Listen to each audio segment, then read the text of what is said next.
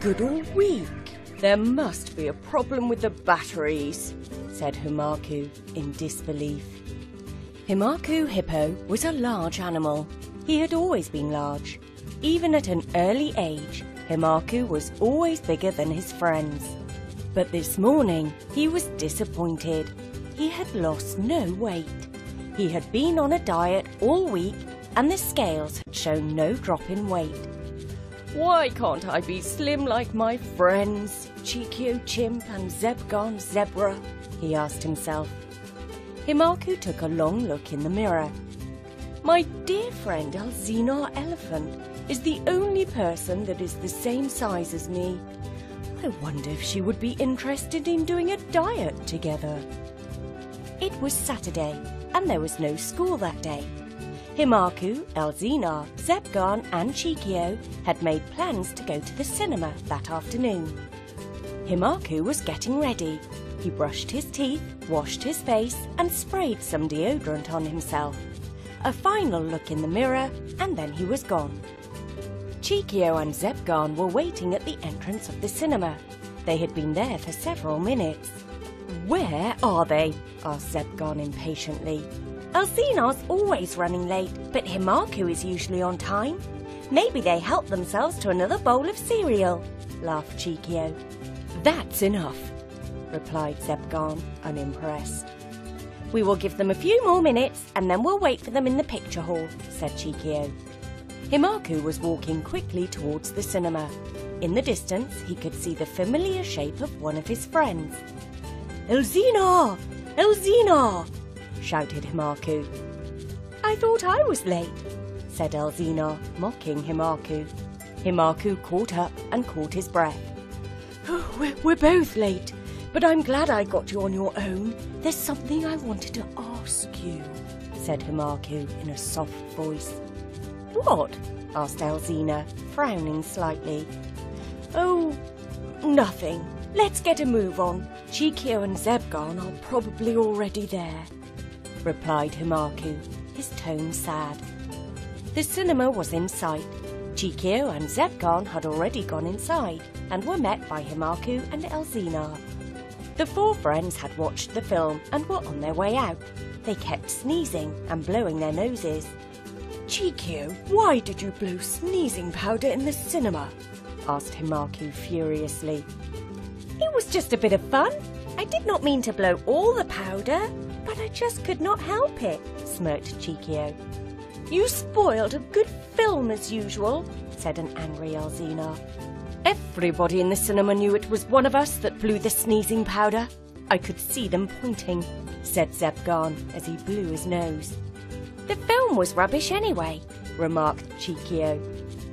We could not enjoy it for the sneezing, said Himakoo in disgust. I've acted in better films than that, said Cheekio proudly. You act? Name one film you've acted in, asked Himakoo curiously. Cheekio thought for a moment. You know the one with the ship that hit the iceberg? Yes, said Himakoo. When the ship begins to sink? Yes, said Himakoo and Zebgaan. When all the passengers fall into the sea? Yes, say Himakoo, Zebgaan and Ellezina. You see all the top hats lying on the water. Yes, get on with it, said Himakoo impatiently. I was under one of those hats laughed Cheekio. You are crazy, said Himakoo, trying hard not to laugh. Remember, we are going swimming at the pool later, he added. Himakoo stayed closest to the pool, located on the edge of the jungle. It was a short distance, but it still took several minutes to get there, because there was plenty of weaving in and out of trees and bushes. You had to avoid the snakes and other ferocious animals, like tigers. The animal Himakoo feared the most was Lizarov. He was king of the jungle. He was huge and very ferocious. He had long claws and long, sharp teeth. He was very mean and used to pick on anybody who crossed his path. Eventually, Himakoo reached the pool. He placed his towel on a bush and made his way to the poolside. Oh, that feels great, said Himakoo as he dipped one leg into the pool. Himakoo began to swim. After about ten lengths, Himakoo got out of the pool to rest and wait for his friends. Himakoo made his way to the bush to get the towel he had left. It was not there. Himakoo looked everywhere, but the towel had disappeared. I wonder if the wind blew the towel into the pool, Himakoo asked himself, looking confused. As Himakoo looked into the pool, he could see his reflection. But there was also another reflection in the water. Looking for this? It was Lizarov, holding the towel in his huge paw. Cheekio and Zebgaan were making their way to the pool. On their way, they met Ellezina, and the three friends walked happily in the warmth of the sunshine, looking forward to a dip in the cool pool. I can't wait to dive into the pool and try out my new goggles, boasted Cheekio. I'm just going to swim a few lengths and then relax by the poolside, said Ellezina. I think I will try the backstroke today, said Zebgaan, stretching his legs. The three friends were only a short distance away from the pool when they heard cries for help.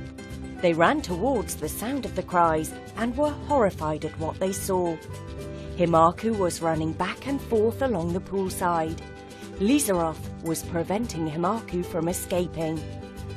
Help! shouted Himakoo in desperation. How dare you try to run from me, you big hippopotamus! Roared Lizarov. Cheekio, Zebgaan and Ellezina looked on from behind a tree. They felt helpless. Lizarov was a big ferocious beast and boasted of being king of the jungle. Suddenly, Lizarov surged forward to attack Himakoo. Without thinking, Himakoo turned away and jumped. The only place for Himakoo to go was in the pool. As he jumped, Lizarov just missed Himakoo with his outstretched paw. Himakoo jumped high into the air. Lizarov looked up at Himakoo. The friends looked up at Himakoo from behind the tree. Then suddenly, Himakoo landed in the pool with a big splash. The splash sent the water high above the trees. When the water came down, it fell on everybody. I hate the water! screamed Lizarov. Lizarov was soaking wet from head to tail. He looked a terrible sight. His long golden mane was all over the place. He slowly turned around and ran deep into the jungle, passing the others still hiding behind the tree. Himakoo carefully climbed out of the pool and dried himself with his towel. Where are your friends when you need them? moaned Himakoo to himself. One by one, the three friends emerged from behind the tree. They were all soaking wet from the water. Sorry we're late, they said, shaking the water from themselves. How did you all get so wet? asked Himakoo, looking confused. We saw all the action. We are so proud of you. Next time we see Lizarov approaching, we're going to throw you in the pool, laughed Cheekio. The four friends spent the rest of the evening enjoying themselves in the pool.